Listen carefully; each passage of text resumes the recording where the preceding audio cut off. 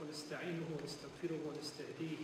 نعوذ به من شرور أنفسنا ومن سيئات أعمالنا. من يهده الله تعالى فهو المهتد ومن يضلل فأولئك هم الخاسرون. وأشهد أن لا إله إلا الله وحده لا شريك له وأشهد أن محمدا عبده ونبيه ورسوله وصفيه من خلقه وخليله ثم أما بعد.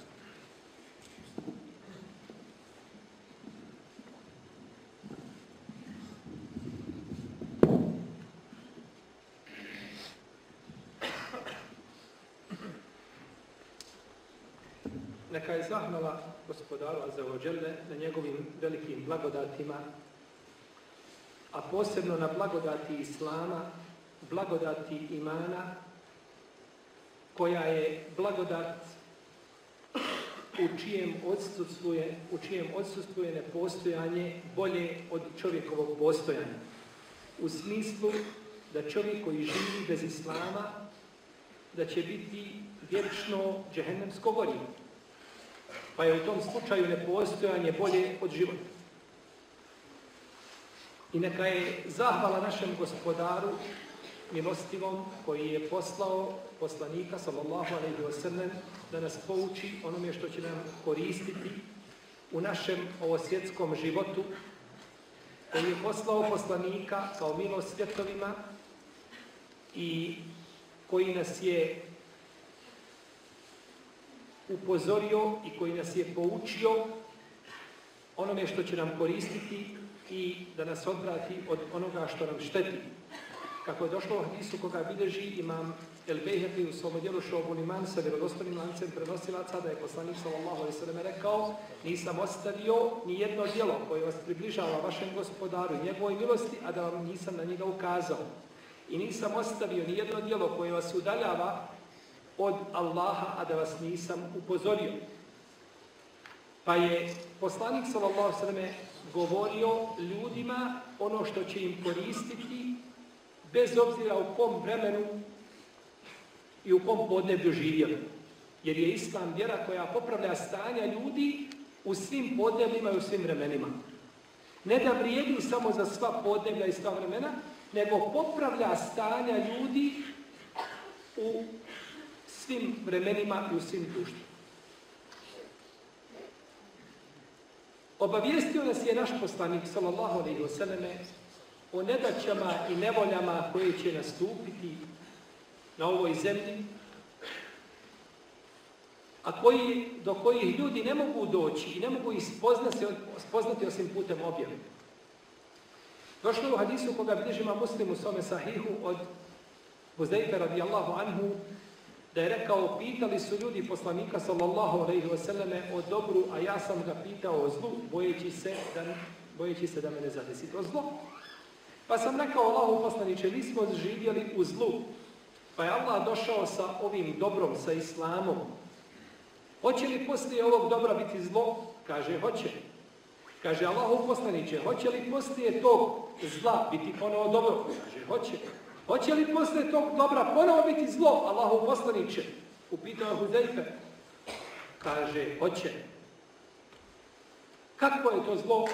Kaže, e, immetun la jehtedune bi sunneti. Kaže, ljudi koji će predvoditi ljude, misli se na učenjake, kulubuhum kulubu šajatin ti džusmani ins. Kaže, njihova srca su šeitanska u ljudskim tijelima. Znači, doći će vrijeme kada će se pokvariti čak i oni najbolji, ako su učenjaci, koji bi trebali znači da ljudima govore dobro, a oni će im govoriti zlo i navoditi ih na zlo i bit će, znači, ljudi, ljudski, znači ljudska tijela i oblici, a u stvari oni su šeitani. Ovo je naznaka na jedan nered koji će nastupiti na zemlji, koji svakako nije došao u naše vrijeme, Allah zna kada će to doći. Međutim, ovo ukazuje da će se najbolje, znači, najbolji dio društva pokvariti. Pa šta onda mislite o običnim masama koji ništa ne znaju o svojoj vjeri, osim ono što su naslijedili, osim ono što su naslijedili od svojih, od svojih predaka. Pa je velika Allahova blagodat prema ljudima da im ukaže preko svoga poslanika šta ih čeka, da se mogu pripremiti. Jer čovjek kada nailazi na iskušenje, on se psihički, imanski se znači pripremi za to iskušenje. Za razlog onoga koga iskušenje iznenadi i onda da tako može da slomiti i u očaj ga baciti, a može, ne daj Bože, i svoju vjeru zbog toga ostaviti. Došlo u hadisu koga bližima muslim u svome sahihu od Ebu Horeire da je poslanik sallallahu alaihi sallam rekao Badiru bin a'mali fitenen kiqifa i muvlim kaže preteknite velika iskušenja koja će nastupiti na zemlji činjenjem dobrih dijela. I o tim iskušenjima kaže poslanik sallallahu alejhi ve selleme yusbihu rajulu mu'minan wa yumsi kafiran. Wa yumsi kafiran wa yumsi mu'minan wa yusbihu kafiran. Je bio dinahu bi arabi min dunya. Osva, osvanuće kao vjernik, a omrknuti kao nevjernik. Omrknuti kao vjernik, a osvanuti kao nevjernik, prodavat će svoju vjeru za neznatna dunjalučka dobra. Iskušenja znači velika koja će nastupiti i koja će poremetiti prirodu čovjeka i njegovu ljudskost, a najgore u svemu tome je što će ljudi znači napustati i ostavati i ostavati svoju vjeru. Pa kako vrijeme odliče i kako se udaljavamo od vremena poslanstva, tako bivaju iskušenja za ljude, znači sve veća i veća. Imam Buharija i Muslim su zabilježili od Usame i Zejda radijallahu anhuma, kaže Usame, أشرف النبي صلى الله عليه وسلم على أطم من آطام المدينة Kaže, popeo se je poslanik sa osvrame jednog dana na jedan uzvišeni objekat u Medini. Objekat koji ima samo ploču, kao naši objekti. Znači, jer kod, kod Arapa od vremena poslanstva nema, znači, krovova. Pa se popeo na uzvišeno mjesto u Medini, kaže, hel tere mara, kaže, vidite li vi ono što ja vidim? Ne vidimo ovo poslaniče, to što ti vidiš je nešto posebno, to, je, to se tiče gajba. Kažete, inni ara el fitere, taqao hirade bujutikum, je katar. Kaže, ja vidim nerede i fitnete i smutnje kako padaju po vašim kućama, kao što pada kiša.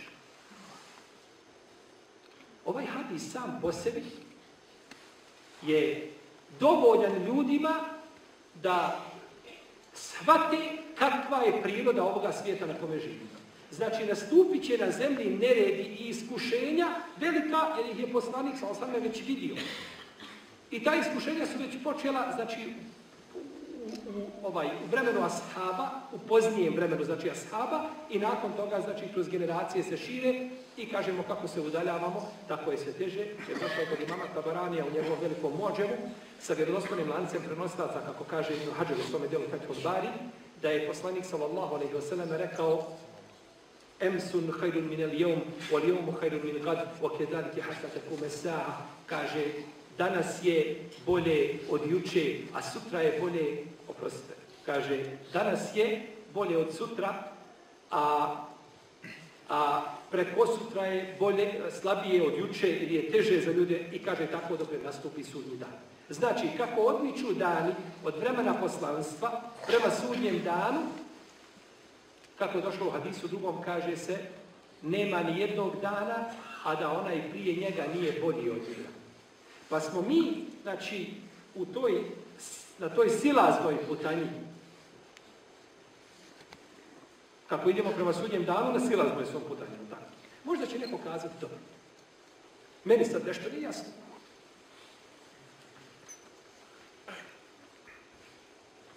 U vremenu El-Hadžađa ibn Jusufa je Zakafija, koji je bio namjesnik u Medini 70. godina.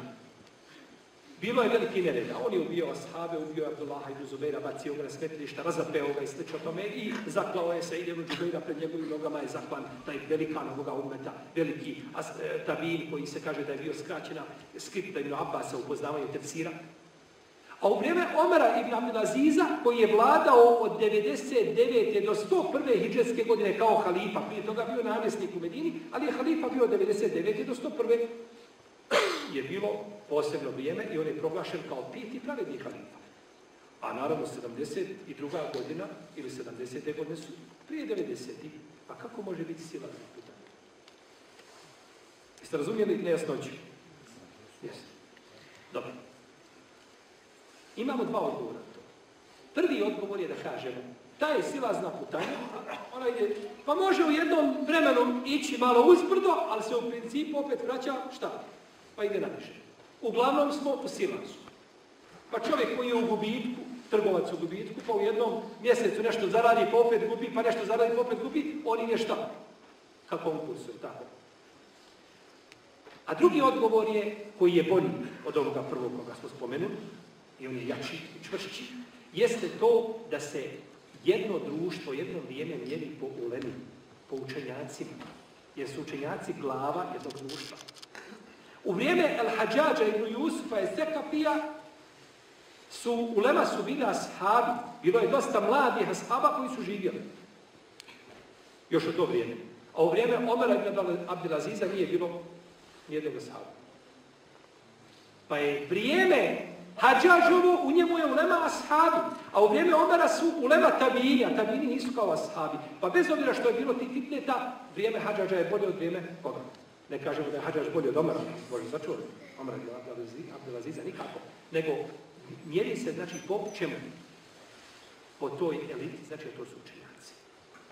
Došlo u hadisu koga bilježi vam muslim u svom sahihu, da je poslanik, sallallahu alaihi sallam, rekao o ashab, podržen hadisu, neću ga cijelog citirati zbog vremena, ovaj, da vas ne zamaram, spomenut ću ono što nam je bitno iz tog hadisa. Kaže se u hadisu, li ummeti fe ida zehebe ashabi eta ummeti ma juadun. Kaže, a moji ashabi su garancija, garancija blagostanja moga umeta. Kada odu moji ashabi, onda će umet zadesiti ono čine im se prijeti. Pa dok je bio Omri, Osmani, Alije, Moavije, Zubejli, Talha i ostali dok su bili tu, sve je bilo Kako odlaze ashabi i kako odluče to vrijeme, znači biva ljudima sve teže znači prolaze kroz sve teža, ili kroz sve teža iskušenja. Čak će doći vrijeme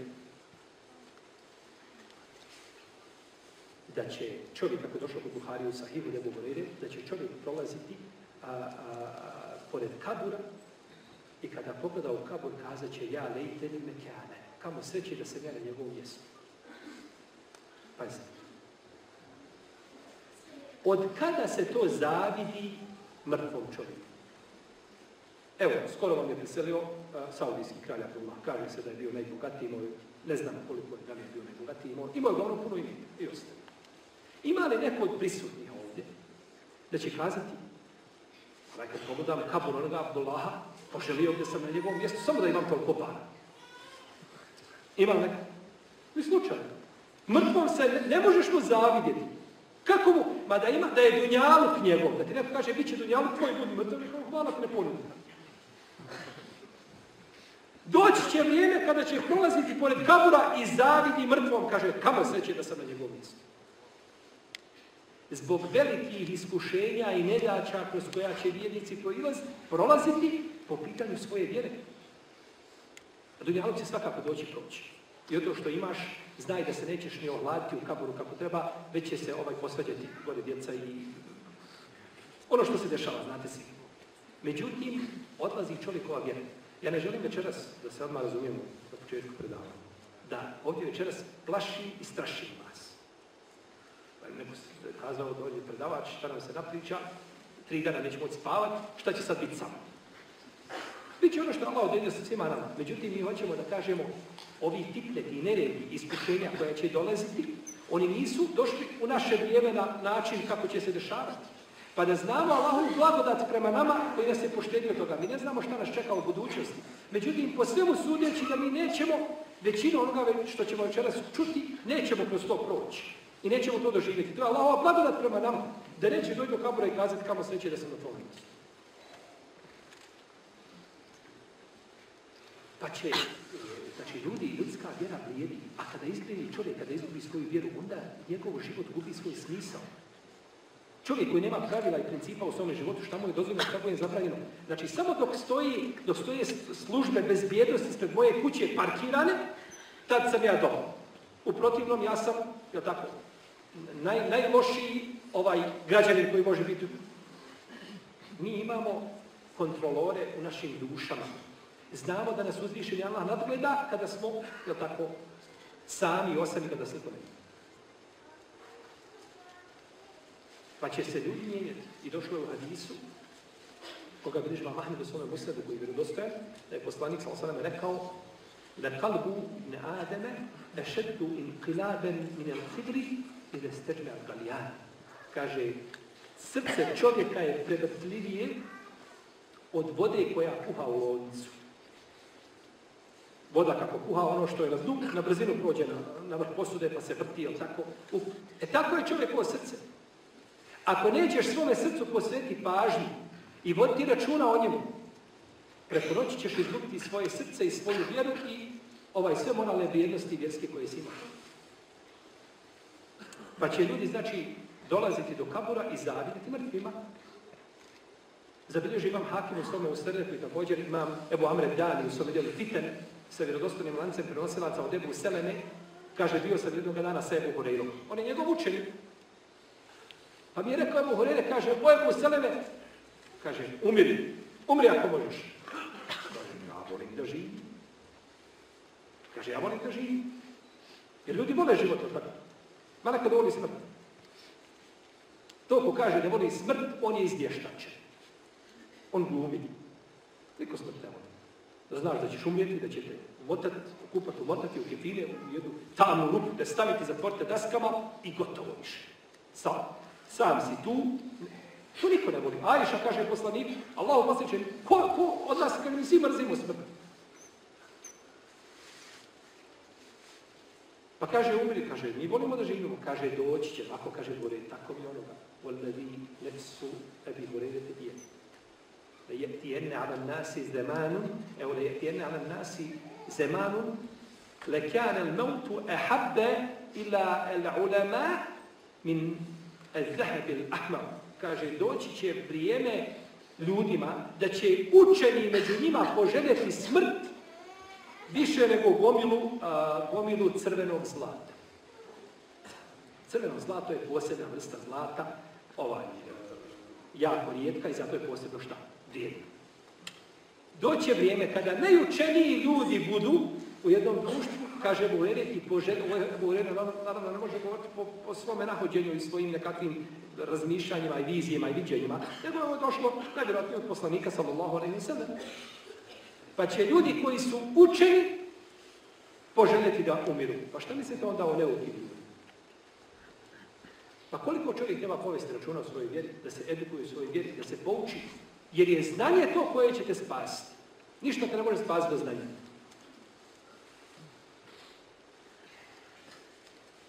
I došlo je kod Ebu Amra i Danija, u njegovom djelu Fitana, koga smo spomenuli, da je Ebu Zer rekao, sjedit će čovjek na pijaci, pa će pogovoriti glavu i ovako klimati glavom i govoriti kamo sreće da sam u njegovom. Koliko će, znači, ljudi biti izloženi fitnetima. Pa ako te zadesi, tako čovjek danas ovaj, izlaz, nekako sitno iskušenje ga snađe, on izgubi nadu kao da je dunjalu propao. Kao da ništa, pa tvoja vjera ostala živio. Vjera kad ostane pri tebi, ništa izgubio nisi. Vjera kad ode, sve si izgubio, tamo sve da si dobio. Jer je to osnovno mjerilo. Što je to vjera? Njegov imalo njegovog gospodara. Kada dođeš kući, poslije posla vratiš se, otvoriš sanduče, otvoriš kad ono? Kazna. 50 maraka. U kaznu sam rekao, ješ Allahu dragi, postoji tvoj rob na zemlji, da si ga danas iskušao kao mene. Zamisli, 50 maraka kazna mi to malo. Ili čovjek, ne znam, pokvario se auto kod mehančara dva dana, ovaj, vrti se u krug i zikri. Kao da je sve izgubio, kao da ništa više ostalo nije u Dunjaluka, sve je propalo, ostala ti je tvoja vjera, ništa izgubio. Na Dunjaluku, ako želiš da prolaziš bez iskušenja, odabrao si pogrešno mjesto. Ovo je ovdje mjesto gdje bivaš ispitivan i iskušavan kao vjernik. Ako hoćeš da budeš, da ne, ne budeš ispitivan i iskušan, onda moraš biti nešto drugo što nikako ne. Jer je dunja, dunjaluk za vjernika zatvor, a za nevjernika je. Džennet. Zato što nevjernik nema ni ograničenja, nema ništa, i džennet u odnosu na ono što ga čeka od kazne posle smrti. Pa je dunjaluk za njega džennet. A za tebe je dunjaluk zatvor zato što ako budeš Allahu pokuran, ideš u džennet. Pa kad uporediš džennet sa dunjalukom, kažeš, Allah, sačuva, stvarno sam bio 70 godina u zatvoru. Na osnovu toga je, da neko ne zašto je, kako to dunjaluk može biti? Može biti zato što dunjaluk porediš sa, sa hiretskim lepotama, znači stvarno bezvrijedno. I da dunjaluk vrijedi kod Allaha koliko krilo ovaj, mušice, eh, ovaj, ne bi nikada eh, ne bi nikak kap vode napojio, kako je rekao Rasulullah, sallallahu alaihi wa sallam. Pa su iskušenja, šta? Ne, ne, ne. ilazi. Došlo u hadisu kod muslima u Sahihu, od Ebu Horeire, da će rijeka Eufrat otkriti brdo zlata. Na svome toku riječno korito otkrije brdo zlata. Pa tako? Pa će ljudi ići da kupe zlato. Pa će ubijati jedni druge. Od, svak, od, od, od, 90, od stotinu ljudi 99 će poginuti na tom putu. Samo jedan će se spasiti. I kogod ide kaže, možda ja budem taj koji se izvuče. Da jedan bude ubijen, a 99 preživi, ne isplati se ići u takvu avanturu. Je tako? Jer dati život, tamo da postoji to jedan naprema stotinu, ne isplati se. Ali će ljudi ići, svako kaže, ja bi. Ne bi li ja bio taj koji će. Pogledajte pohlepe ljudske. Pa kada otkrije, znači ta rijeka Eufrat, a Eufrat je, to je džernecka rijeka. Eufrat je džernecka rijeka. Mi na Dunjalu imamo četiri džernecke rijeke. Kako nas je obavijestio naš poslanik Muhammed sallallahu alaihi wa sallam. Došlo u Adisu koga bliži ima muslim u tome sahihu debu Horeire da je rekao poslanik sallallahu alaihi wa sallam četiri su rijeke dženevitske. Nim, Eufrat, Sejhan i Džejhan. Ove četiri rijeke su dženevitske. Nil Eufrat su poznate. Sejhan i Džejhan to su dvije rijeke, dvije rijeke koje su bile u blizini Šama. Da li postoji danas, ili su njihova riječna korta presušila, Allah alem, ulema, ne znam da su nešto posebno o tome govorili, uglavnom bile su poznate, znači, u to vrijeme, znači, u tim, u tim a, a, Mubareć ili tim blagoslovljenim, znači, podjeljima, podjeljima Šama. A Džejhan je veći od Sejhana, kako kažu, kako kažu komentatori hadisa. Pa su to znači četiri, kako džennetske rijeke? Ali su džennetske rijeke i nema nikakve priče i komentara. Jer je to rekao onaj koji ne govori po svojim propjevima. A to je naš poslanik Muhammed sallallahu alaihi wa. Znači, to su džennetske rijeke koje su ovdje. Da li one dolaze nekakvim posljednim putjama ne dolaze, o tome mi ne znamo ništa, niti imamo pravo da ulazimo u to, niti trebamo, znači tih podataka da smo trebali obavijestiti nas poslanik sallallahu alaihi wa sallam. Jer tako voda je, mi ne znamo blagodat vode, mi koji živimo u ovim potrebnima, mi ne znamo blagodati. To znaju blagodat, tu blagodat znaju ljudi koji žive na tim mjestima gdje nigdje vode nema nego na tom mjestu. Od preznaka sudnjega dana jeste, kako je rekao poslanik sa osrame u hadisu koga bliži imam Ahmed, bliži ga imam, imam Ebu Jalku sa onom ustadu, od Enesa ibn Malika, da je poslanik sa osrame rekao, la te kume sa'a hatta yumtara nas wala tumbitu al-ardu shay'a Kaže, neće nastupiti sudnji dan dok ne bude padala kiša. Kaže se, mataren amen. Dok ne budu obilne padavine, ali zemlja ništa ne da. Nema izdanaka. Pada, pada kiša, ali ništa ne rađa. Džaba vam to što ovaj, ne da uzvišeni Allah. Znači, to je kao vrijeme koje će biti prije dolaska Dejjala. Kako je došlo u hadisku od imama Ahmeda, od Esme Bitu Jezidjane Sarije, u vjerodostojnom predanju, kaže poslanik sa tri godine su prije dolaska Dejjala godina u kojoj će zemlja zadržati trećinu svojih a, ovaj, usjeva i svojih plodova, a nebo trećinu padavina. Druga godina nebo će zadržati dvije trećine padavina, a zemlja dvije trećine svojih plodova i treća godina kada će zadržati zemlja sve svoje plodove i usjeve i zelenilo, a sa neba nema nikako kiše. I onda u tom se periodu tako teško za ljude pojavi ko? Dečan. Dajjal koji se kreće po zemlji lijevo, desno, tako, ovaj, prelazi preko zemlje za 40 dana na prvi nered po zemlji cijeloj, ja tako, kao ovi naši Dajjali što rade, ovaj, takav način, tako, čas ga u Sarajevo, vrne se dva, eto ga, u Banja Luci, posle dva, tri dana traži Isilov kamp gore, po kraju negdje iskopane kakav kamp, ovaj, niko ne zna o njemu ništa. Ponovo se vrati u Sarajevo, okrene se dva, tri puta u krug, 7000 stranica nakupi, tako? Dečalska posla. To znači deđali samo u različitim znači, oblicima, je tako? I zaduženja su im ovaj, različita, iako se sasipaju jedan kalup. da ispitivaju ljude i njihovu vjeru. Međutim, kako će završiti njihov dedo, tako, kada je dođe Isa alaih tako će završiti oni, neće ništa bolje od njega. Allah je zapisao le aglibenne ene o rusuli, pobjedit ću ja i moji poslanici. I njihovi stedbenici svakako. I dok si stedbenik Allahov poslanika, sam sam, ne si Nemoj, nemoj da te glava boli. Samo kako? Istinski ga slijedi. Nemoj površno. Nemoj biti sezonski musliman. Ono nešto sezone. Budi musliman stan. I pokori se Allahom poslaniku sam sam i za, u tome je za tebe uspjeh definitivno.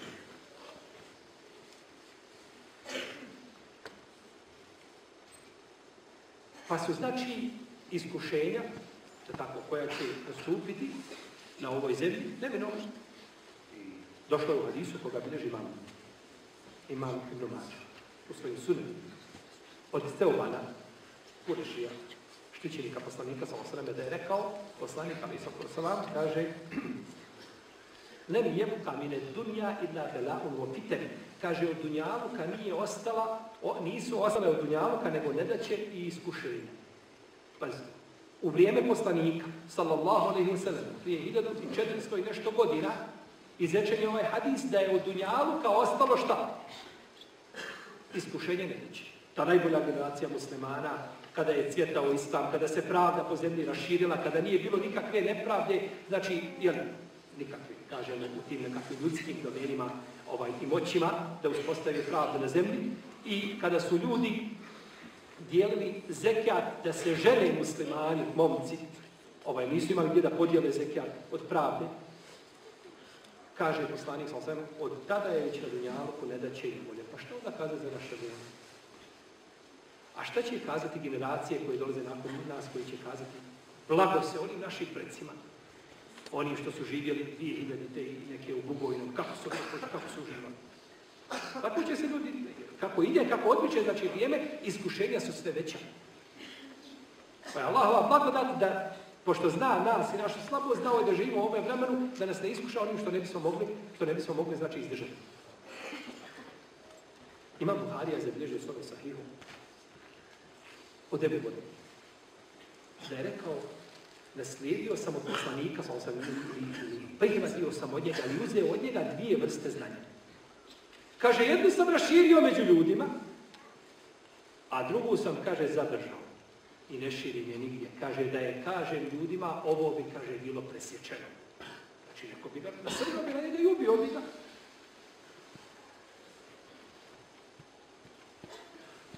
Jednu vrstu znanja je raširio. Koja je to znanja? Pitanje vezano za akajd, za ubjeđenje, za, za fik, za aklak, za tefsir, za... Ono što je Ebu Hurere premio, znači premio. Dobro, koja je to Ebu Hurere druga vrsta znanja koju ti nama nisi premio? Znači li to da nešto nije potpuno naše vjeri? Nikak. Naša vjera je potpuno. Originalna sačuvana i ostaće tako do sudnjega dana. Nijedan har iz naše vjere ne pada.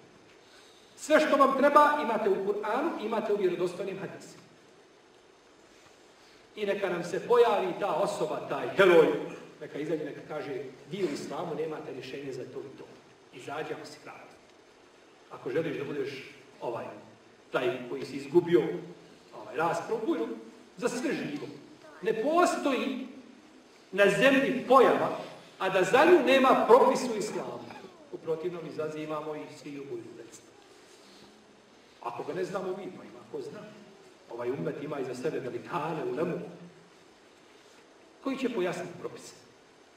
Pa islam zasjeca u sve pore čovjekovog života. Ta druga vrsta znanja koju Hureyre nije raširio među ljudima, tiče se upravo ovoga o čemu govorimo.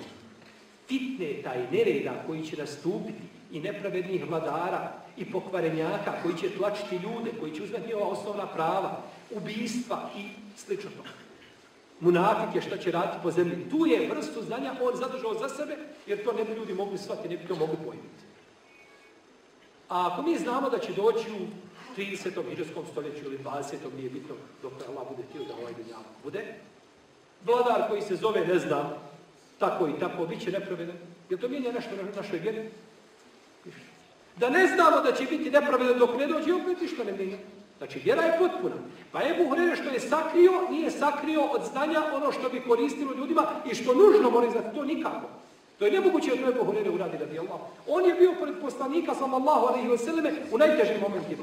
Padao sam, kaže, između mimbera i sobe poslanika, sa osvrame, i prilazi čovjek i stavi mi svojom, svojim stopolom, pritisne moj vrat, kaže, misli da sam, da sam ovaj ograjisao.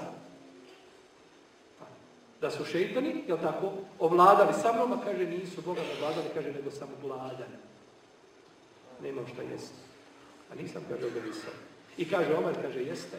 Kaže, Omera je zabaglo pljeskanje na pijacama ruka uz ruku, kad prodaje se, tako, kad se pogađa. To se i danas je tako, to je ostalo pljeskanje. Kaže, Omer je pljeskao po pijaci i kupovao, a kaže, Ebu Hurere slušao hadis. A Omer je lavi slama, nije Ebu Hurere stepen Omera, ali pogledajte e, tu žrtvu Ebu Hurere i nakon toga da Ebu Hurere nešto sakrije. To je nemoguće. Međutim, sakrio je ono što naši razumi ne bi mogli pojmiti. Da će nastupiti, znači veliki nered. Došlo u hadisu koga bilježi imam Beza i bilježi ga imam Ibn Hibban, bilježi ga Jana. Od Huzeyfe radijallahu anhu, da je rekao, a za ovu predaju kaže šehu Islam ibn Kesir u svome tefsiru da je dobra, da ima dobar jak lanac prenosilaca. Znači da je autentična, da se možemo na nju skloniti slobodno i prihvatiti je kao ispravno. Da je poslanik sallallahu rekao, kaže, najviše što se bojim za vas, kaže, jeste čovjek koji će doći i učiti Kur'an. I biti pomagač islamu. On pomaže islam, radi za islam. Kaže, vidjet će se na njegovom licu svjetlo tragovi od učenja Kur'ana.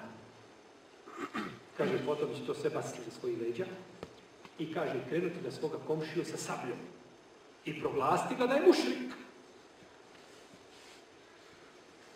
Kaže, pa sam rekao, bijete je, on mi ja Allah. Kaže, oceni majkom te iskupljujem Allahu poslaniče. Men huwa eula bi širk. Rami ebel marmi, kaže, ko je preči da bude mušrik od dvojice? Onaj koji je optužen ili koji ga optužuje za širk? Koji je preče? Kaže, bele rami, kaže, preči da bude mušrik onaj koji ga optužuje. Imaš čovjeka, oličje islama, ljepota, imana, kada vidiš, je tako, iman se primijeti na čovjeku dobro, vidiš iz daleka, vidiš da taj, da taj čovjek nije iskvaren. On će doći nakon toga ubije svog komšija. Optužuje za i ubije A došlo je u hadisu, Ebu Musa Lešarja, koga bi ima Mahmed u svome muslimu, šeha Albani ga spominje u svojim vjerodostojnim serijama hadisa, da je poslanik sa osvrame rekao, kaže, neće nastupiti sudnji dan dok na zemlji ne bude bio herđ. Herđ u arapskom je ubijanje paušalno. Onako, ideš ulicom i gledaš, ovaj mi se sviđa, ala bereke, prođi, ovaj mi se ne sviđa, ubije. Nikad ga vidio nije, o njemu ništa ne zna. Tako da će doći da ne zna ubica zašto je ubio i ubijen i zašto je ubijen. Ne zna ništa. Znači, nego tako ga ubije. To je to znači ubijanje nekakvo, onako paušalno, bez ikakvog razloga. I kaže, pa će čovjek, kaže, izići i ubiće, kaže, svoga komšiju, i svoga brata, i svoga Amidžu, i svoga Amidžića. Možete zamisliti kakav je pa su kazali ashabi, ta, ta čista nutrina od ashaba progovorila i kaže, Allah poznajuće, pa imamo li mi, kaže, pameti toga dana kad to budemo raditi? Ili imaju li ti ljudi pameti kada budu? Kaže, ne, toga dana će, kaže, ljudi biti lišeni razuma. Ništa nema. Ko, ko hajmani I radi se ono što se radi.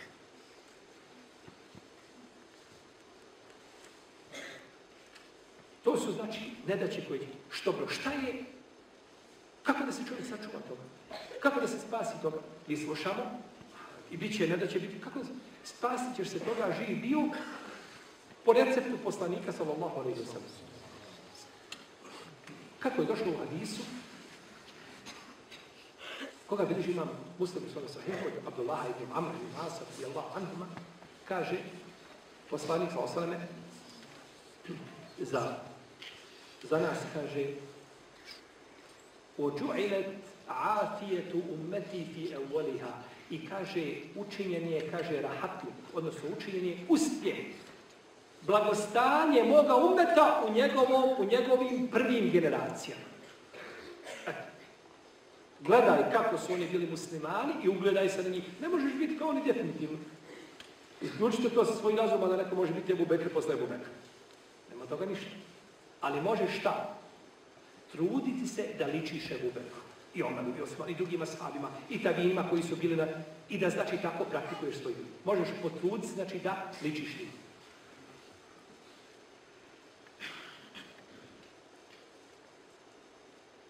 A kaže dalje, وَسَيُسِيبُ آخِرَهَا بَلَاءٌ وَأُمُرٌ تُنْكِرُونَهَا Kaže, a, kraj tog umeta će zadesiti ne da će iskušenja, kaže, koje vi nećete moći pojmiti.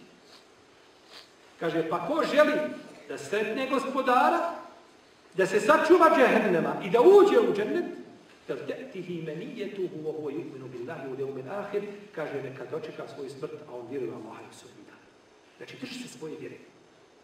Drži se svoje vjere. I to je tvoj spas.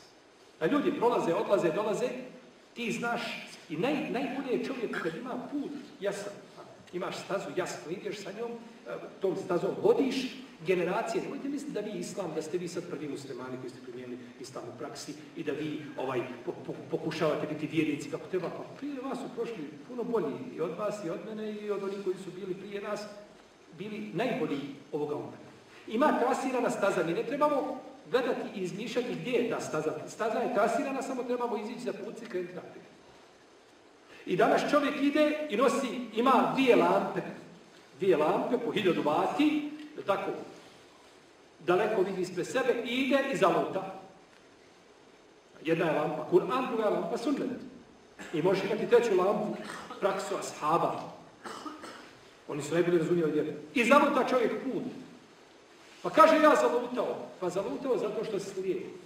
Ne vidiš gdje ti svjetlo. Pa daj zato zalutao živio. Da si imao oči, ne bi zalutao. Jer na islamu, ko uđe u islam i zaluta u islamu, on stvarno, on zaslužuje da zaluta. Jer kaže poslanik sa u hadisu, ostavio sam vam, ja sam vas ostavio na bijelom putu, noć je kao dan. Šta znači? Nema ti tame. Znači nema ti nejasnoća, sve po danu. Ima neko po danu kada gleda da mu nešto nejasno, osim ako ovako, kao mi što sam naučio, nema dioptrije. Jasno ti sve da, znači ne, nemaš nejasnoća. Ovo je zgrada, ovo je automobil, ovo je... Tako i vjera. Bio noć, bio dan, jasno ti. Put jasan na kome nas je ostavio. Kaže, la je zigu anha ila halik. Sa tog puta neće skrenuti osim pravi nesretnik. Pa neka krivi samo sebe ako skrene. On je znači ovaj uzrokovao to skretanje. Kaže poslanik sa osrme u hadisu, koga bilježi Ibn Mađa. Od Seobana radijallahu anhu kaže Istaqimu ulen tuhsu wa'lamu anna khayra a'malikum as-salah wa la yuhafizu 'ala al-wudu'i illa mu'min. Kaže istaqimu, pazite ovako kaže. Istrajte na pravom putu. A nećete moći. Istrajte na pravom putu, a nećete moći. I znajte da je najbolje vaše djelo koje činite namaz. A kaže na abdest ne pazi nego vjernik. Šta znači držite se pravog puta, a nećete moći. Volim to su. Nećete ga objediniti, nećete ga obuhvatiti. Tako je u prijedlogu. Znači, ali ovo posljedniš, ti meni kažeš da se ja držim pravog puta, a u isto vrijeme mi, jel tako, kažeš da ja ne mogu to biti. Nije. Drži se pravog puta, ali nećeš ti moći biti vjernik u potpunosti 100% u smislu kao što su bilo mi najbolji. To je definitivno. Nećeš moći primijeniti sav sunnet u svome životu. Ponekad će čovjek zbog svoje slabosti ljudske učiniti grije. Ovo nikako nije tako stimulans da ljudi čini grije. Definitivno. Mislim da se razumijemo. Međutim, će čovjek zbog svoje slabosti učiniti grije. Tako. Ali, ti se trudi da istraješ, a nećeš moći u potpunosti objediniti svu svoju vjeru. U protivnom, pogledajte samo koliko dova imamo. Ujutro kad bi ustao čovjek i učio sve dove što imamo, pola ti dana pošlo učenju dova da, da praktikuješ sudbe. Ne može to čovjek se. Ali se trudi maksimalno koliko mogu. I to se od tebe traži. Da daš od sebe maksimum i nakon toga što će prođe, Allah te neće pitati za to, jeli, i neće biti za to obračunano. Da čovjek da maksimum od sebe. Pa čovjek koji nije stanio da klanja stojeći, može sjedeći. Nije sjedeći, može ležeći. Nije stanio da postiš, može se iskupiti. Ne mogu nikad postiti. I skupi se za svaki dan po siromaha na ranu i ti kao da spustio. Ne mogu obaviti hađ, može neko za to. Nisam nikad para imao, niti mogu platiti bedela, niti mogu ja. Nikad te Allah neće biti za hađ. Da svojim dan dođeš i nemaš pitanja, ti o hađu neće biti pitanja. Jer to je mimo tvoje mogućnosti. Allah te ne opterećuje mimo tvoje mogućnosti. Ali ti se trudi da budeš šta? U Kur'anu uzvišeni Allah kaže Festeqim kema umirte omen tabe Kome kaže? Naše poslaniku sa Kaže Festeqim, kaže istraj na pravom putu i oni koji su se pokajali s tobom. Vola I nemojte granice prekoračiti. Pazite. Istraj i oni koji su se pokajali s tobom. Od čega se pokajali? Čega se pokajali? Što se plaši? Od čega? Od grijeha, pa od grijeha je pokajanje. Strpi se, a, istrajiti i oni koji se pokajali s tobom od čega? Od grijeha. Znači da grijesi rade ovaj, a, da su grije, da grijesi oponiraju istrajnost. Pa da te sa pravog puta istrajnosti odbače šta? Grijesi. Tak, tako je značenje ajeta. Istraj i oni koji se pokajali s tobom. Zašto se spominje da te oba? Istraj ti, Allah i oni koji su to uzadali. Ashab. Zašto se spominjete oba? Zato što je te oba vezana za grijeh, a grijeh te odvodi, znači, u pravu putu. I treba čovjek pratiti i voditi računa sa kim se druži. E, gdje on svoje vrijeme provodi? A kad govorimo o toj istrajnosti, to je, to je taj lijek za, za, za, te neredne koji će nastupiti za čovjeku vjeru, sa kim svoje vrijeme provodi? Došlo je kod Buharije kod muslima u vjerodostojnom predanju od Ebu Musa Lešari Abdullah ibn Kajsa, da je poslanik sallallahu alaihi sallam rekao primjer dobro i lošeg sabesjednika je kao primjer čovjeka koji nosi posudu sa miskom i čovjeka koji nosi a, kovački mjehur i puše u njega. Onaj kaže koji nosi misk, on će te, ili ćeš kupiti od njega miris, ili će te namirisati. Ili ćeš osjetiti lijepi miris. Kad prođeš pored radnje gdje su miris, ili si osjetio miris ili sebi kupio miris, ili te onaj trgovac rekao, ako nećeš da kupiš, evo ja ću te namirisati od mene. Uglavnom vidio si od njega dobro. A onaj koji nosi kovački vjehu, kaže, ili će opržiti te, ili progoriti tvoju odjeću, ili ćeš osjetiti ružan miris.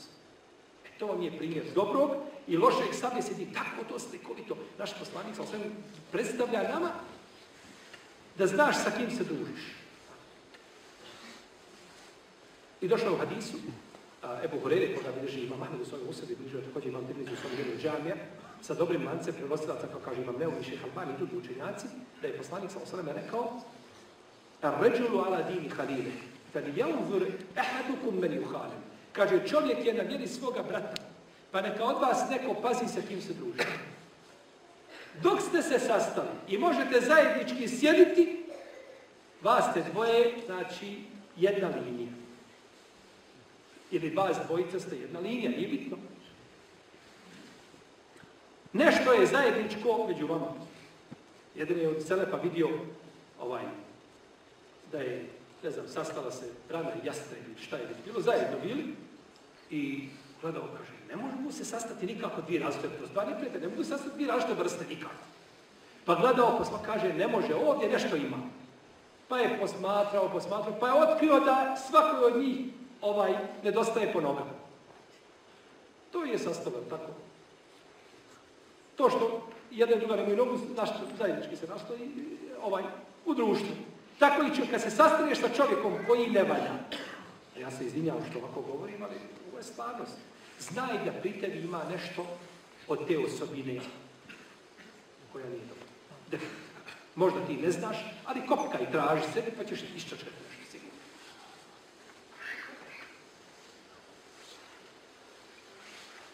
Jer nisu svi ljudi, nije, ne zaslužuje svako da bude, ne zaslužuje svako da ti sa njim svoje vrijeme tračiš i provodiš, da gubiš. Vrijeme, tvoj život je u danima, kaže Hasan al-Basri, sine Ademov, ti si dani, kada god prođe jedan dan, umre dio tebe. Kad god prođe jedan dan kada sunce zađe, hajde pokušaj ga ti sa svojom rodbinom i svojim društvom i ljudima i čima, pokušaj ga vratiti nazad. Isključite Superman. Evo ne, Superman nastave. Koji vraća ljude. Može ga vratiti? Gotovo, to je prošlo. Ti si to dao. Umro je, kaže, kad mate ba'du, umro je dio tebe, jeste. Dio je tebe umro definitivno. I mene, dan kad prođe, to je završeno, do sudnjega dana nećemo vratiti više.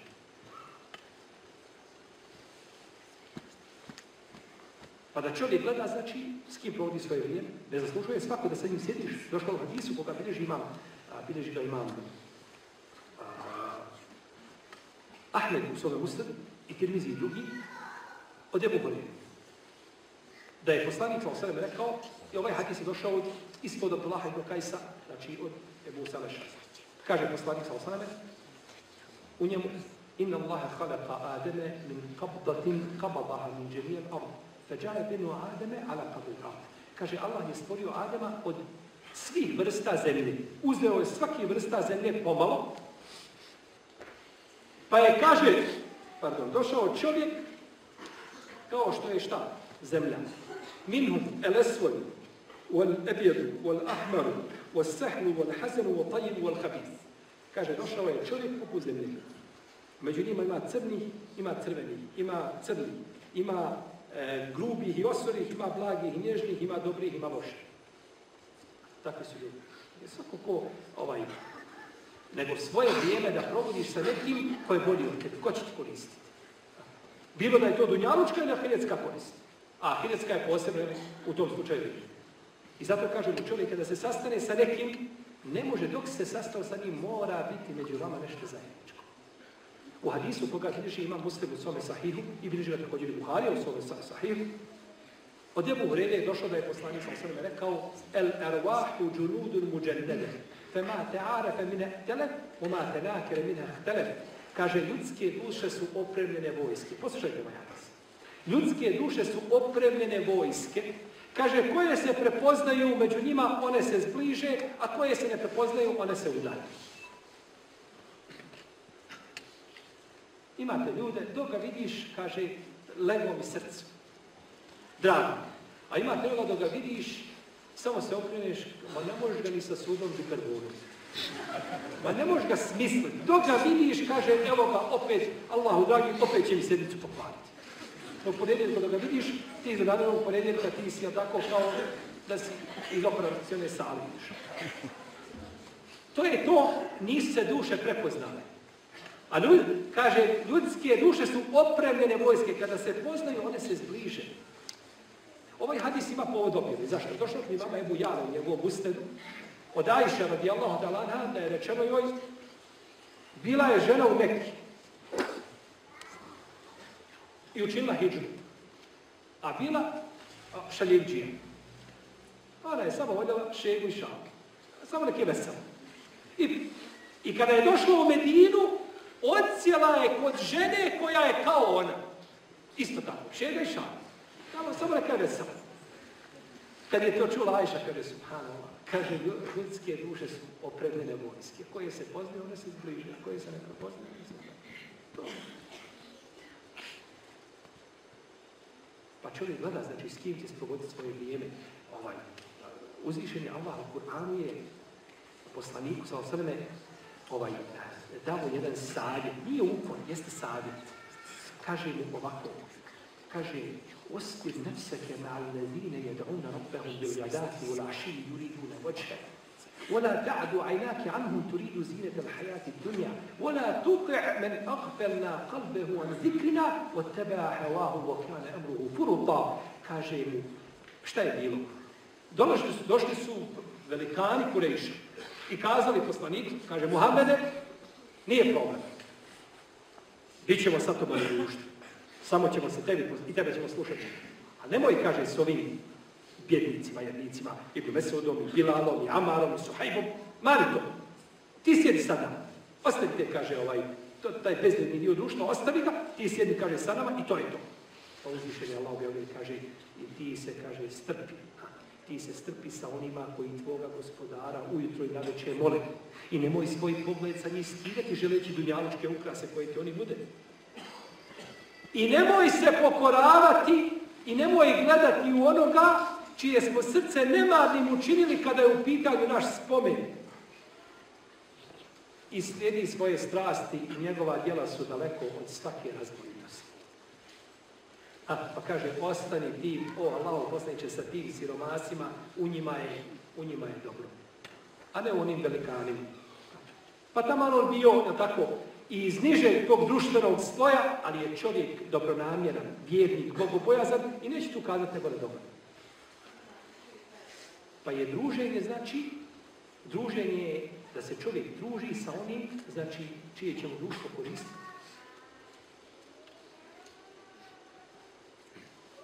I na takav način budu ustrajati. Šehol Islam im je poznati velikan umeta kaže u svojim petvama, a ovo njegovo, ove njegove riječi je ili sliče njima je prenio i a, Sadruddin Ebul Hasan ibn Ibn Aizi al-Hanabi, on je umro 793. idejske godine, a šehol sam je umro 728. Znači, među njima je neki, a, koliko? 60 i nešto, tako godina, 65 godina je među njima. Prenio iste riječi, kaže, najveći keramet jeste, kaže, da danas čovjek ustraje na pravom putu i kaže da radi ono čime njegov gospodar zadovoljno.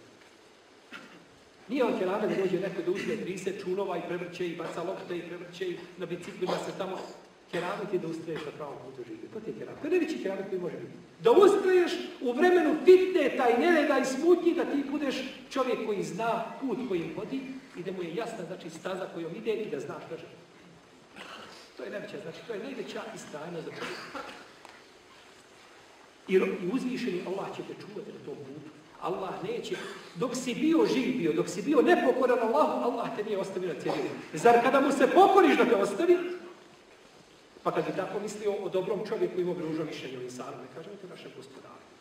Bio sam loš, Allah me čuvao zla i obskrbljivao me i, i davao mi blagodati i dan i noć i sada kada sam mu dobar kažem, e neću, onda uzvišenje Allah će to me sve uskrati. Kako je to mišljenje Allah? Došlo u hadisu Ibn Abbas, koga bilježi ima Mahmed u svome ustavu, da je poslanik sa osanama rekao Ihfadillah jahfaz. Kaže, čuvaj Allah, Allah će tebe čuvati. Šta znači čuvaj Allah? Ja da dođem i čuvam Allahovo biće? Čuvaj Allahove granice. Nemoj prelaziti njegove, ostani znači unutar njegovih granica, budi mu pokoran i Allah će te čuvati. Eufu bihdi, eufu bihdi, ufi bihdikum. Vi ispunjavajte svoje obaveze promjeni, svoj ugovor prema vama. Intensurullahe surkum. Ako pomognete Allaha, Allah će vas, sve u Kur'anu, Allah će vas pomoći. Pa je znači to, fezkuruni ezkurkum. Vi se mene sjećajte, ja ću se vas sjetiti. se Allaha u tjeskobi, on će se, e, u rahatluku, on će se tebe sjetiti u tjeskobi. Sve to došlo u, u znači, jel je u Kur'anu, u sunnetu došli, znači, argumenti u tom pogledu. Uzvišen Allah kaže u Kur'anu, kaže ovako, muaqibatu min bejni jedejhi u min halfihi jahfazunehu min emri Allah. Kaže, svaki od vas ima čuvare ispred njega, iza njega koji ga čuvaju od onoga što mu nije Allahovom dozvolom nad njim diju borane. Čuvaju te meleki kad ideš ispred tebe i za tebe živi. Ne može to što ti Allah propisao. I čuvaju to čega? Od onoga što te nije određeno. Pa kad dođe Allahova odredba, onda se oni šta? Pa se onda desi šta? Ne možeš nego kako ti Allah odredi. Pobjeći od Allahove odredbe ne može nikako. Pa u čemu? U čemu onda da budem pokoran svog gospodara? Da pazim na njegovi granice. Čuvaj Allah, Allah će tebe čuvati. Ebu Tajibe Tabari, jedan veliki učenjak umeta, A on je umro 450. iđeske godine. Jednog dana uplovila je lađa u luku, pa je on skočio s lađe, iz velike visine skočio na zemlju. A imao preko stotinu godina. I odmah ovi prisutni po njemu, kuke i motike. Pogledaj se, nisi na tvoj star, tolike visine skačeš, možeš, možeš. Kaže, ovi udovi, ruke, noge, kaže, mi smo i kaže, čuvali u mladosti, pa nam je Allah sačuvao u starosti. Nismo griješili Allahu. Pa nam je Allah to sačuvao u starosti. Allah čuva svoga roba. A najbolje ti je kad te gospodar tvoj čuva. Džunejd je vidio čovjek poznati Džunejd mu pesiri. čovjek za koga su govorili da kada govori da, kao, da su mu riječi kao da su hadisi poslanika sallallahu. Vidio je čovjeka starca da sjedi i prosi. Kaže, ovaj je zanemario Allaha u mladosti, pa ga je, kaže, Allah zanemario u starosti. Zabilježio imam, imam Ebu Nuaym u svome dijelu Hilije, da je bio pastir jedan koji bi kada je velika suša nema, dobio Allahu i Allah pošalje oblak iznad njegove stoke i napoji njegovu stoku. A kad je krenuo na džumu namaz, samo bi ogradio po oko crtu ovako oko stada, crtu štapom i otišao. I kada bi se vratio, ni jedna ovca ne bi izlazla van tog te crte. Allah čuva se obrano. U Israelijatijama je došlo da je upitan šeitan, jesi li, kaže, ikada ikoga zabolio od ljudi?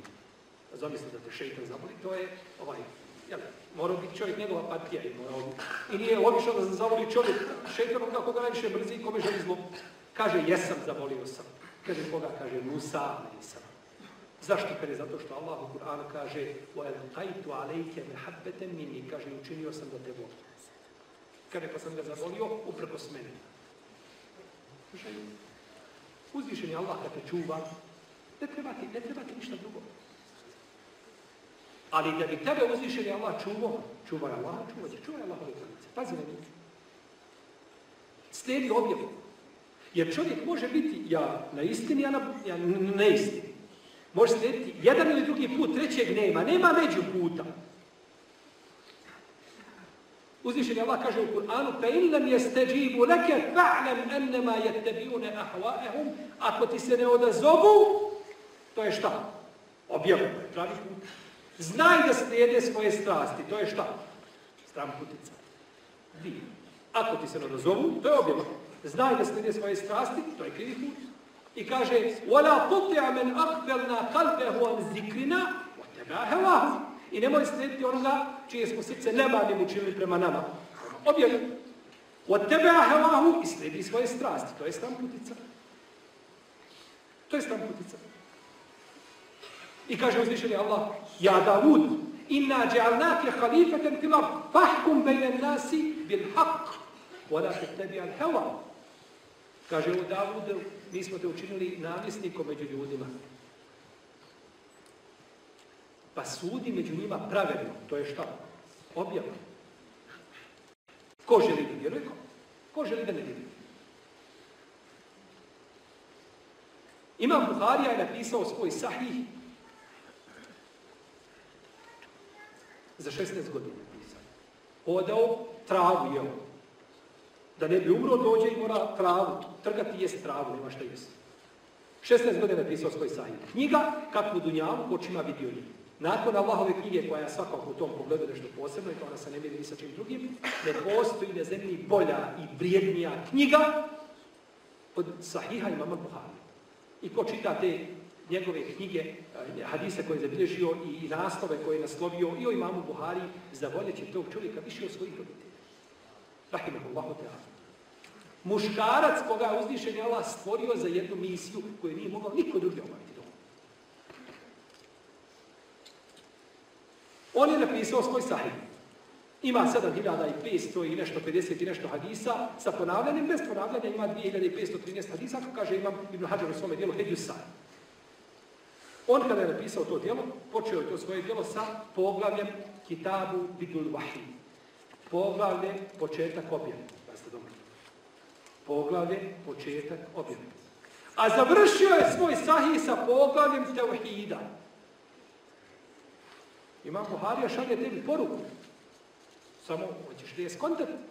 To je poruka. Znači, ima Buharija hoće kazati, ako hoćeš da tvoj život završi sa teuhidom i da Allaha sretneš na teuhidu, drži se objave. Drži se Kur'ana su. To ti reši. To ti ima Buharija ti okazati. Pa će te tvoj gospodar na tom putu čuvati. Jusuf, ali i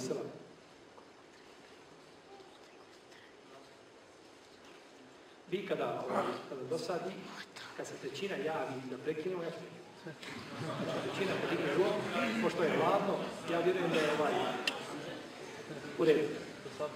Jusuf a.s. Pogledajte njega i njegovog stanja. Došao je Jusuf, Jusuf a.s. mladić. Najjačem vijeku svoje mladosti. Jusuf a.s. neoženjen. Je tako?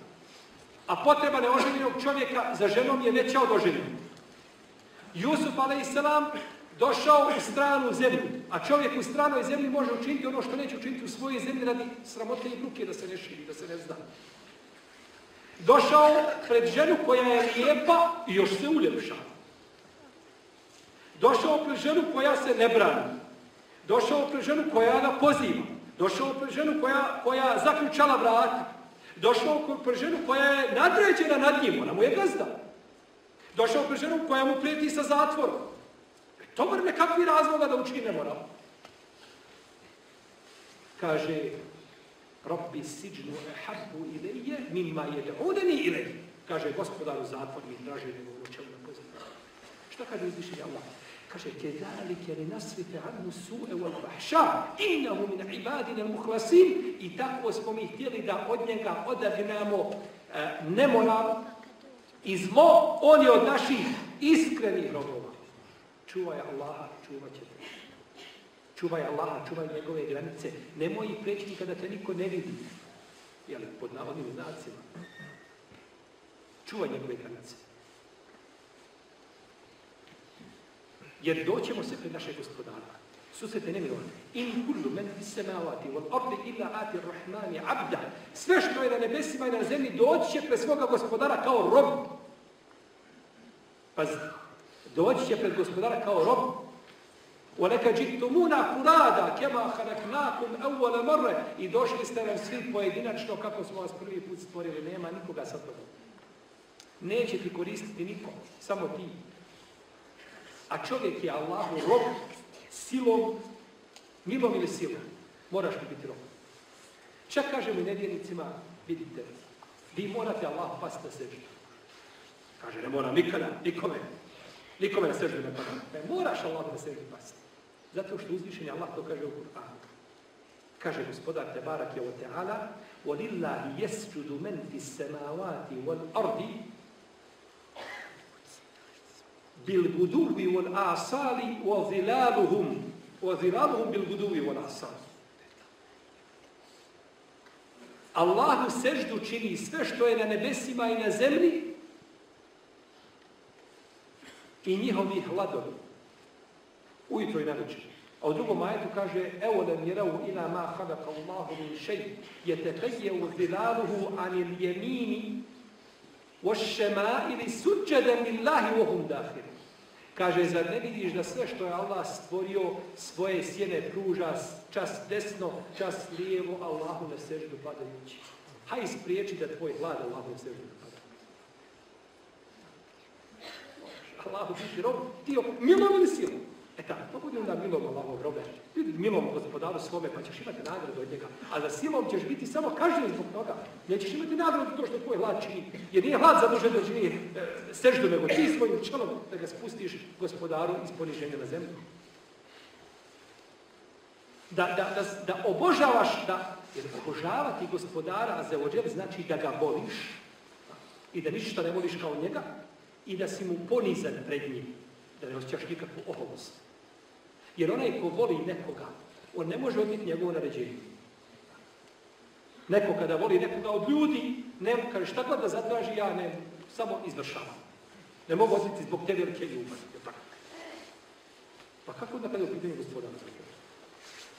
Muž kaže, ja voli svoju ženu. Priča on, na sam glas kako voli svoju ženu. I ona njemu kaže, živio, gdje mi kaže, gdje mi pričaj o mene? Kahu, kaže, gdje mi pričaj o? Kaže, dobro. I onako joj u cugu iznese 50 njenih mahana. Spomene. Odmah onako, kao da je napamet učio 50 mahana njenih spomene. Dobro, kaže, imam li ja nešto dobri osobina pri sebi, ima ništa pri meni dobro? Znači, pa ne znam, moram uzeti godišnji odmor sedam dana da razmislim. Moram se skontati da vidim imaš li ti i što dobro. On je vidio sve njene mahane, a ništa nije vidio dobro i on ju voli. U ljubavi je obratno, vidiš samo dobre mahane, a nema ništa loše. Nema ništa nemoguće, nema ništa što ne bi uradio. To je za ljude, to pravilo vidi. Kako onda kada je u pitanju tvoj gospodar koji ti nešto naredi i onda mu se ti ne pokoriš? Poslanik sam sam jedne, jednog, jedne večer je uspio da je ušao u dženu. Kaže, pa sam došao do jednog dvorca i kaže, vidio, kaže, ovaj, jednu ženu da se abdesti pored dvorca, kaže, pa sam se okrenuo, kaže, i pobjegao. U stvari, kaže, pitao sam čiji je dvorac, kaže, to je Omerov.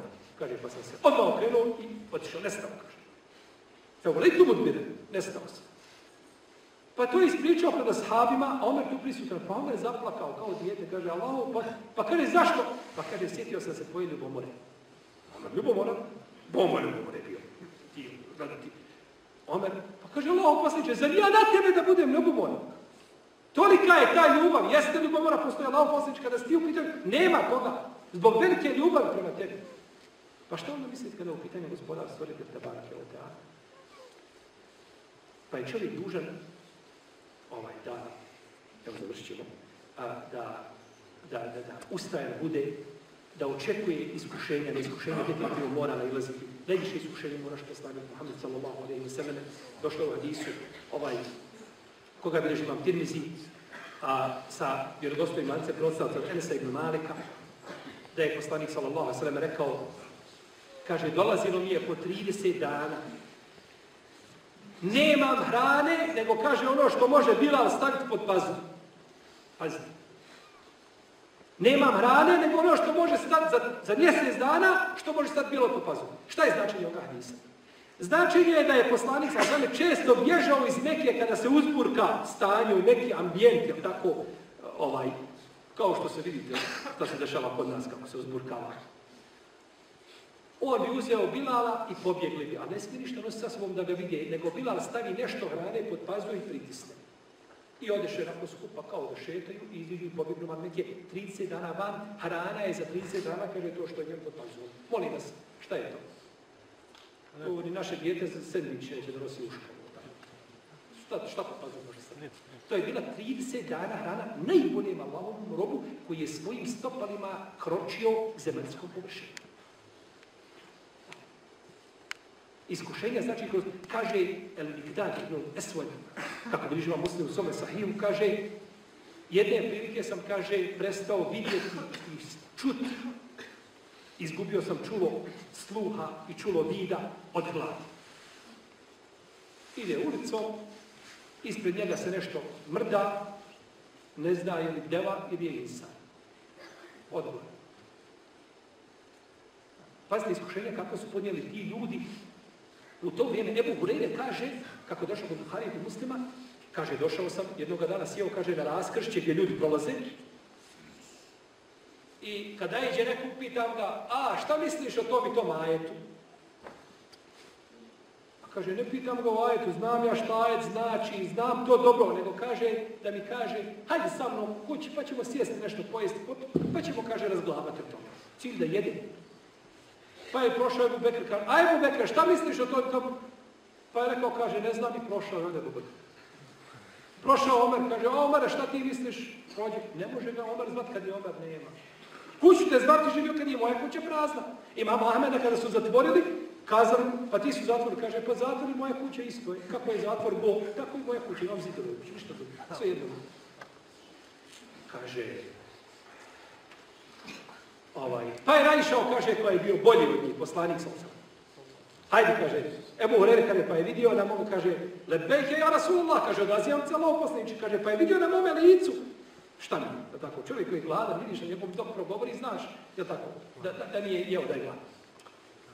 Hajde, kaže, samo. Pa sad, kaže, kada sa njim došlo u kuću. Kad, kaže, čaša mlijeka, jedna čaša mlijeka, kaže, Ebu Hurere, idi, kaže, zovi ashabu sufe. Ashabu sufe to su gosti Islama, njih 70 što su došli u džamiju, to su živjeli, ništa nisu imali, ni porodice, ni metka, nego šta im ko da, to su jeli spavali u džamiju. Zovi, kaže. Pa sam, kaže, dobro, lao poslanič. Pa sam krenuo, kaže, idem usput kom poslanič, kaže, jedna čaša mlijeka, kaže, ja sam bio najpriši, daj popijem. Tu sam prvi bio. I sad zove 70 drugi ljudi i kaže, i doće drugi i kaže, oni će to piti, ja ću gledati kako oni piju. Zamislite. E, čovjek ti gladan i drugi jedan ispred tebe, ti ga služiš i gledaš. Ali kaže, mora se pokoriti Allahom poslaniku sam. Pa sam ošao i pozvao i došli, kaže, pa su sjeli. Kaže, evo red služi. Kaže, pa sam služio, a od edeba islama jeste kad čovjek služi nekoga da prvo njega posluži, pa da on pije. Ne prvo da ti popiješ. To je etika islama. Naspiješ, poslužiš sviju i na kraju piješ ti ako ostane. I on je došao niz po redom i od jednog do drugog čaša mlijeka jednu. U ovo ne vjeruje nego vjeruje. Ovo ne vjeruje. Onaj ko vjeruje ima ulazi, ima izlazi, odmah nek to odpiše. Ima nešto zove bereket. A ulaz izlaz to je tamo u ekonomiji. Kod nas ima bereket. Kad uzviše nema dao nečemu bereket, blagostvo, blagostanje i to se dešavalo našo sa poslanikom sa losom. Kaže, pa sam nasuo to jednom, pa su svi pili, pa sam na kraju, kaže, došao ovo poslaniče. Ti, kaže, evo, u redu, ostali smo ja i ti. Kaže, jesmo ovo poslaniče? Kaže, pi. Kaže, pa sam sjeo i. Pi, pa sam pio. Kaže, pi, pa sam pio. Kaže, pi. Kaže, tako mi onoga koji te poslao sa istinom, nema više gdje. Kaže, pa je uzeo, uzeo ostatak i popio. Čaša mlijeka, 72 čovjeka, eto 70 ljudi, ne znam koliko je bilo samo super, koliko je došlo, ne znam, ali 50 da je bilo, piju čašu mlijeka i raduju se čaši mlijeka više nego vi pečenju janjeti. Sad da ti dođeš s posla i tebi žena stavi čašu mlijeka, kaže, e, ovo ti je Ovo je ručak danas, nema ručka, klasično, standardno, ovo je danas ručak.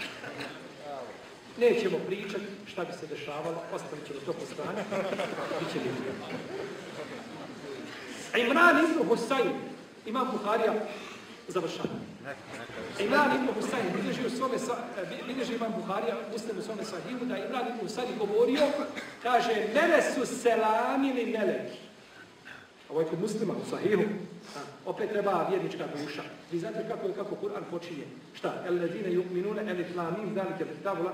Elledine yu'minune bil gajb. Koji vjeruju u gajb. Hoćemo to od vjernika. Da vjeruju u gajb. Ono što je obavijestio poslanik osrme ili neko od sahaba da je bilo, da se to dešavalo. Kaže, mene su selamili meleki, kaže, dok nisam učinio kej. A to je znači liječenje paljenjem tijela ima rana, spali se kao autorizacija. Tako da, to je liječenje koje se šarijetom zabranjeno. Zato što ono s jedne, s jedne strane koristi, a s druge strane šteti. Bol veliki nanosi. Pa je šarijetom to zabranjeno. Kaže, pa sam se liječio tako, kaže, pa su prestali veliki da selame. Kaže, pa sam ostavio kao autorizaciju, kaže, pa smo opet počeli selamiti.